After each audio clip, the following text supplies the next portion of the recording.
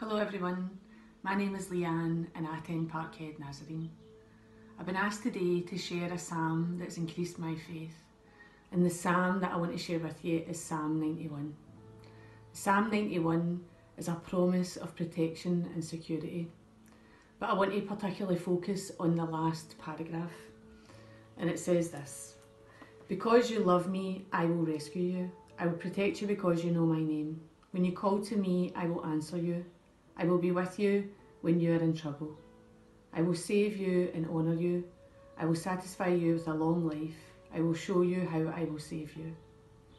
And this paragraph was a real source of comfort to me about three years ago when I suddenly lost my job. I was really deeply impacted by it and I couldn't see how I was going to move forward with the situation. But the journey along the way to this point has taught me so much. I learned a lot about myself, I learned a lot about life, and I learned a lot about God. And one of the very first things that I learned was that I had taken part of my identity from that job, from who they said I was and what I was capable of. And God really showed me that the only identity, the true identity that I've got is from Him. I learned that life can be uncertain, that things can change, even when you don't see it and that He is the rock that we stand on in these times. I also learned the true deep meaning of what it says in Romans 8:28 that for those that love God, He works things He works things out for their good.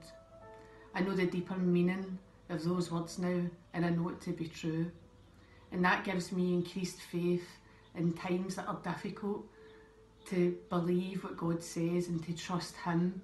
That even though I can't see it or I can't feel it, that I know He is working things out for my good and that He will highlight things in me that I need to work on, that He'll renew me, that He'll heal me in areas that I didn't even know existed. Let's pray. Father, we thank you for your words. We thank you that you are the rock that we stand on in times of trouble. We thank you that you are our refuge and our shelter. And Father, we just pray that you'll protect us in these days. In Jesus' name, amen.